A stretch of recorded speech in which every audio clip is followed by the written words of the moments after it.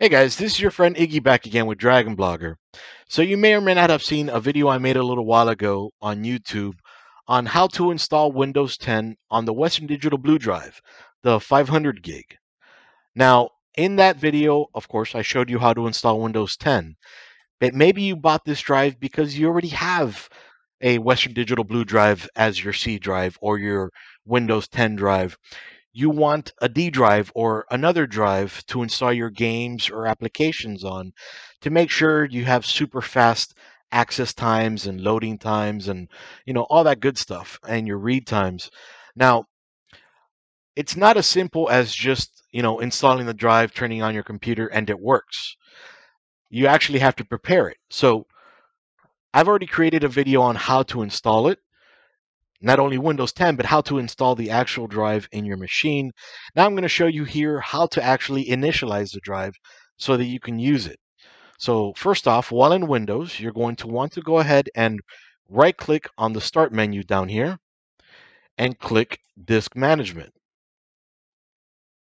All right, so in a few seconds, you're going to get the initialize disk prompt. It's just telling you that, hey, disk one um, needs to be initialized so that you can use it. So they give you two options, MBR or GPT. MBR stands for Master Boot Record. It was developed by uh, IBM in 1983, and it's only limited to two terabytes. Now, mind you, this is a 500 gig. It will work. It will work totally fine. And then on top of that, you can only have four partitions. Now, GPT or GUID, par- GUID partition table was developed by Intel not too long ago. Okay, and in this one, you can have up to 128 partitions. So in my case, I'm just going to leave this as one large drive. But you know, if anything, that's something to to know for later on. Uh, you can always change this later on, but you will actually have to delete the entire partition. But you know, just showing you how to do it now.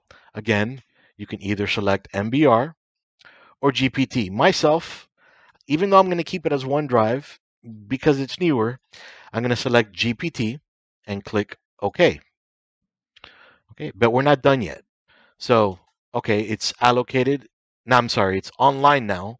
It's not offline anymore, but it's unallocated. What does that mean? Well, that means it's there, but we can't do anything with it. You just bought a new house. You can't do anything to it till they give you those keys.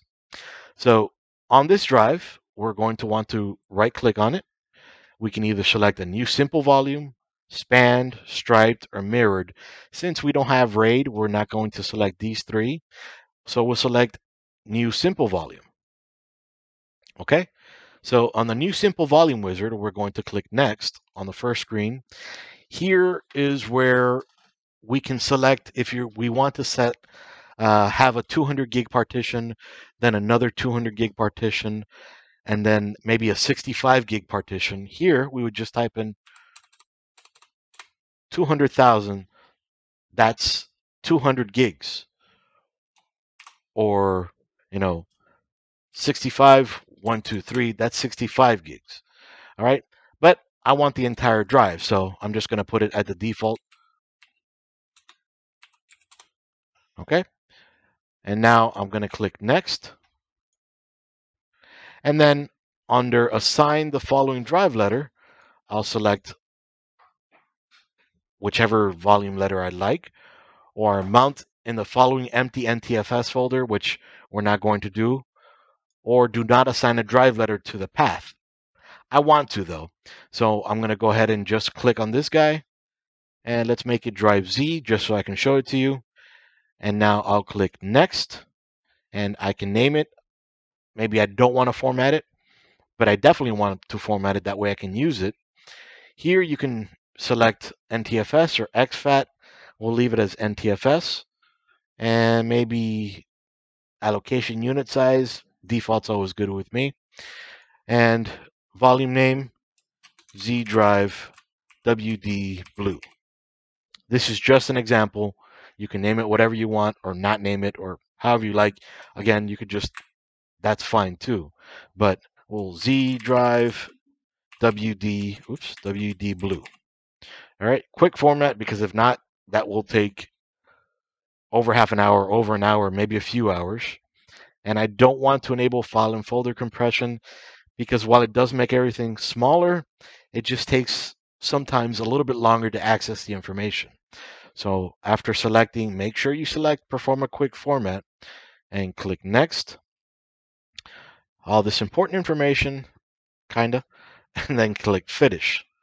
All right, so it's going to say formatting just for a few seconds because we selected quick. All right, there we go. And it says down here. So I'm just going to go ahead and close it.